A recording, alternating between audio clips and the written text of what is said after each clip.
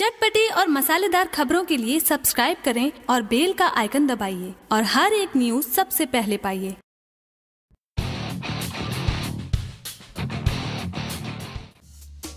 भोजपुरी फ़िल्मों के jubilee star Dinesh Nirahua अब अभिनेता से नेता बन चुके हैं। वो भी आजमगढ़ से चुनाव लड़ रहे हैं। जी हाँ इनका यह अनाउंसमेंट के बाद भोजपुरी फ़िल्म इंडस्ट्री के सभी लोग उनके सपोर्ट में आ चुके हैं और हाल ही में दिनेश यादव निरहुआ के सपोर्ट में अरविंद केला कल्लू ने उनके लगे बेहद ही प्रचारक गीत गाया है, जो दर्शकों को काफ़ी ज़्यादा पसंद आ रहा है। इसी कड़ी में काजल राधवानी भी अब निरहुआ के सपोर्ट में आ चुके हैं। जी हाँ मीडिया रिपोर्ट की खबर माने तो काजल राधवानी बहुत जल्द ही दिनेश यादव निरहुआ के चुनावी गढ़ आजमगढ़ में चुनाव प्रसार करते हुए नज़र आने वाले हैं। यानी की अपनी चुनावी रैलियों में काजल राधवानी भी निरहुआ के लिए वोट मांगने वाले हैं। अब देखना यह है कि ये चुनाव प्रचार कब करने वाले हैं। हालाँकि आपको बता दें कि अभी तक इसके बारे में कोई भी ऑफिशियली खबर नहीं दिया गया है, लेकिन आपको बता दें कि निरहुआ आजमगढ़ में अखिलेश यादव के खिलाफ चुनाव लड़ रहे हैं और आजमगढ़ की धरती पर इस समय भोजपुरी फ़िल्म इंडस्ट्री का बहुत ही बड़ा जमावड़ा देखने को मिल रहा है, जहाँ बड़े स्टार से लेकर छोटे स्टार निरहुआ की रैली में ज़ोर शोर से प्रचार प्रसार करते हुए नज़र आने वाले हैं। अब देखना यह है कि निरहुआ क्या आजमगढ़ से चुनाव जीत पाएँगे या तो चुनाव के बाद ही पता चल पाएगी, लेकिन इतना तो कंफर्म हो चुका है कि वह अखिलेश यादव के खिलाफ बहुत ही अच्छी पकड़ अपनी